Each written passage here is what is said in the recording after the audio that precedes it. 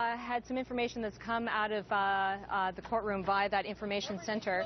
And what we've told is that on that uh, first count, that most serious count, uh, Bradley Manning was found uh, not guilty of aiding the enemy. On the second charge, which had 16 specifications, he was found guilty of 15 of those specific specifications and not the 16th. And I'm afraid to say, I've come to you so quickly, I don't have the third.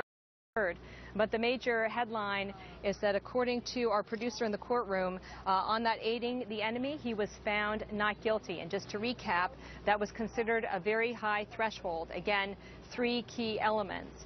Intelligence, that this was information that was helpful to the enemy. I think one could make the argument that it was helpful. It was found in Osama bin Laden's compound.